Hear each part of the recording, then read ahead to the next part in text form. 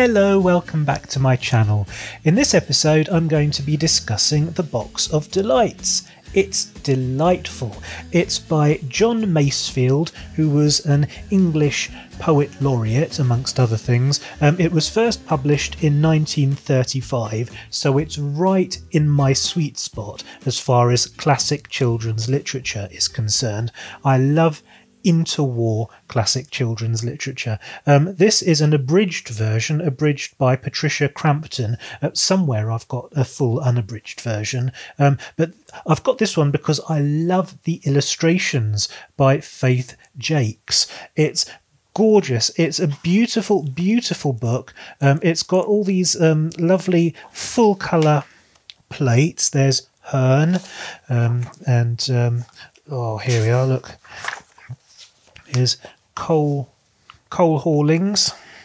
Um, so this is a gorgeous book, um, and the story is so so Christmassy. This is a perennial Christmas favourite. Um, it's been adapted countless times for radio and television. Um, the most famous adaptation, I think, is the 1984 BBC six part adaptation um, by Alan Seymour, who the following year adapted The Lion, the Witch, and the Wardrobe um, in very much the same style. It was mid 80s BBC chroma key style. An awful lot of it was filmed in front of a blue screen um, and very poorly chroma keyed into various animated settings. I say poorly, at the time it was pretty revolutionary.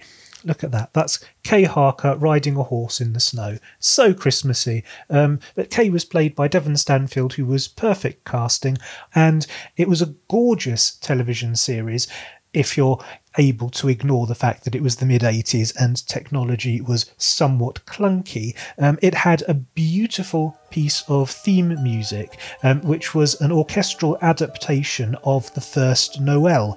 And that um, piece of music has been used several times in adaptations, in various different adaptations of The Box of Delights. And so that piece of music is now synonymous, at least as far as I'm concerned, the Box of Delights. The story features Kay Harker, who is a young boy returning from boarding school for the Christmas holidays, and he meets a couple of dodgy characters on the train. And when he gets off the train, he meets a mysterious Punch and Judy man Cole Hawlings. Um, this man immediately befriends Kay, and the two of them strike up something of a rapport. The old Punch and Judy man decides to entrust into Kay's keeping the Box of Delights. It's a magical box, it has various powers.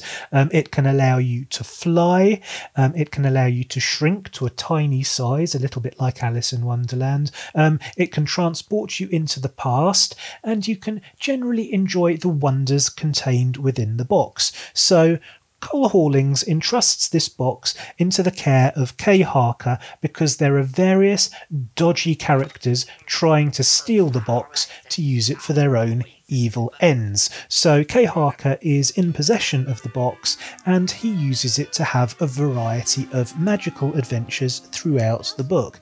And it really is magical. It's magical, it's Christmassy. Look at this. You see, this is what happens when you shrink in size. You can go for a voyage on a toy boat, a little miniature toy boat, down a little trickling stream. Um, and the whole world is enormous and it's just like um, Honey, I Shrunk the Kids. Uh, so that's the type of adventure that you can have. I'm going to find something else. Ah, look, you can ride dolphins. You can meet mysterious people in the woods. See, I find it impossible to look at an image like that and not be transported back to my childhood. I think probably the best time of my life was when I was around 10 or 11 years old, and I had such magical Christmases. I felt the magic in the air. I loved the smell, the crisp, cold, snowy smell of the winter air in London. Um, and I had so many adventures, and I would, I would watch Mary Poppins and Bedknobs and Broomsticks and uh, the Box of Delights, and of course the Chronicles of Narnia. And uh, oh, it was lovely being a child. At the same time, it was horrible being a child, and I was a miserable kid. Um, but somehow I managed to really have a lot of magic in my life. And look, Cole, Cole Hawlings and you see, that is so evocative. I really love these old style illustrations. So, I, do you know what? This is going to be a very short video because it turns out that I don't have a lot more to add, really. This is this is an all-time children's classic. Um, it's from a perfect period in history when um, magic still existed for children, and um, I like to. Oh look, look, butterflies. He's flying with butterflies. God, that's good. I love this stuff.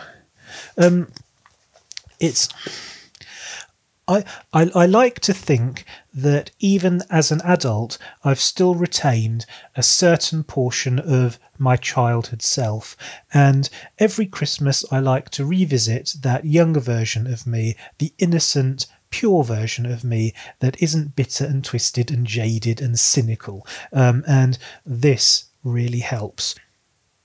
Do you know, I really can't think of anything else to say. There, there, are only so many ways that a person can say, I really like this book. So I will say it one last time I really like this book.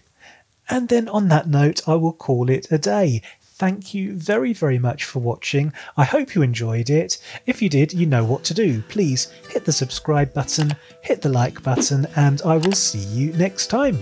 See you later.